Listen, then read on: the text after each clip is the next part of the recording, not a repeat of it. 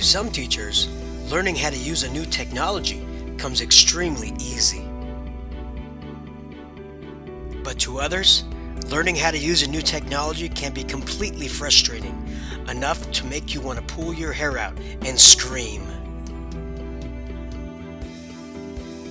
This frustration in class was common in my school, so our administration decided to do something about it, and they bought us a brand new slate. Hello from the Active Classroom, where teachers and students create a whole new world of learning. Meet Active Slate. Active Slate is a wireless tablet that allows teachers to use an interactive whiteboard from anywhere in the classroom. It lets instructors get out from behind the desk, away from the front of the room, and control the board. Wow, we couldn't believe it. When we saw this commercial, we thought, fantastic. This thing looks incredibly easy. We can walk around the classroom with it. We can give it to the kids and they can instantly know how to use it. Why not buy these? So, by the end of year 2011, every single teacher in our school had a Promethean active slate. Wow, the future of our school was going to be completely different. Into a hub of activity.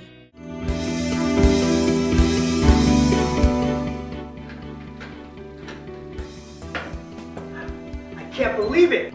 It's here. I couldn't believe it. It was finally here. I ran through my classroom, went straight to the box, and I opened it right up. I looked inside and I pulled that slate right out. Man, I couldn't believe it. My very own slate. There's so much I wanted to do with this in my class. I couldn't wait to figure out how this thing would work so I could get started. Thinking as myself technology savvy, I took it straight out of the box and tried to use it right away. Soon I discovered, you know what, this thing is a little bit more difficult than I thought. I'll go ahead and sit down and I'll take a look at those instructions. Then I'll get it. So I went and sat down. I decided, why not take these instructions out? And so I read.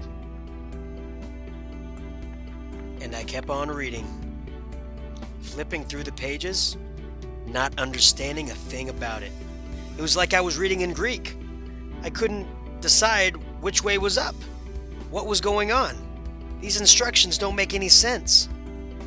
I had no idea what to do. So, after months of searching and seeking on how to work this thing, I decided it wasn't worth it. It took too much of my time. So, what did I do? I gave up. I went back to the box, packed everything away, and, as neatly as I could, decided to put it back where it belonged.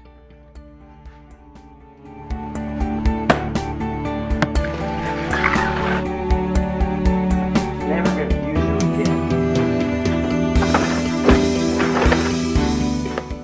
I went back to my desk and wondered, why did I think this was gonna be so easy? Then I remembered that commercial. It reminded me of another commercial that I recently saw on television that I thought was going to be easy as well. We're about to be mesmerized. It's here. It's wild. It's sweeping the nation. It's Fushigi! Oh, yes, Fushigi, the commercial that mesmerized us all. Look, it's a gravity defying ball. You can do this. Even people passing on the street were able to pick it up within minutes. This magic gravity defying ball will amaze your friends, your family, everybody around you. And I'll admit it, I fell for this commercial too. It looked so easy. It was our turn to master the Fushigi. And we all had the same result when we got it home. Oh my god, it's Fushigi!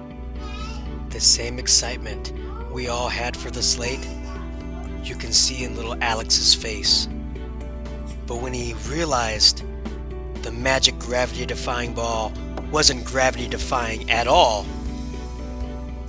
his childhood seemed to fall behind him. His amazing Christmas gift did not seem so amazing anymore. Just as our amazing educational slate did not seem amazing anymore.